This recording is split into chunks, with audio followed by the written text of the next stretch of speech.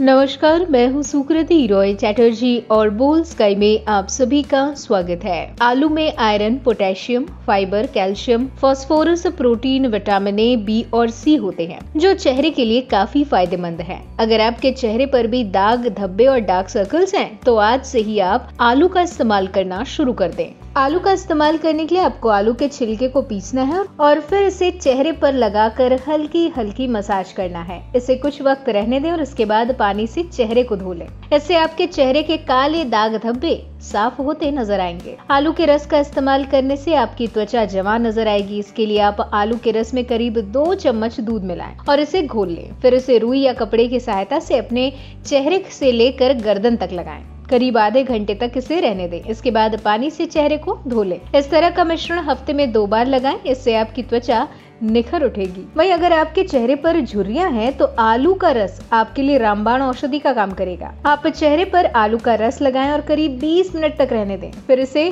पानी से धो लें आपके चेहरे पर होने वाली झुर्रियाँ झटपट खत्म हो जाएँगी। वहीं आलू के रस में ऐसे तत्व भी होते हैं जो आपके चेहरे से टैनिंग को हटाकर त्वचा को निखारते हैं। इसके लिए आप आलू के रस में नींबू का रस मिलाएँ और इसे चेहरे पर लगाएँ। इससे आपकी त्वचा दमकती हुई नज़र आएगी। वहीं अगर आपकी स्किन ड्राई है तो आलू का रस लगाना आपके लिए बहुत फ़ायदेमंद होगा। इससे चेहरे में निखार आएगा और आपकी त्वचा दमकती नज़र आएगी इसके लिए आलू के रस में एक चम्मच दही मिलाएँ और इसे पेस्ट की तरह चेहरे से गर्दन तक लगाएँ। करीब 20 मिनट तक इसको रहने दें और फिर पानी से धो लें। उम्मीद करती हूँ कि आपको ये वीडियो पसंद आया होगा वीडियो को लाइक और शेयर करें साथ ही चैनल को सब्सक्राइब करना ना भूलें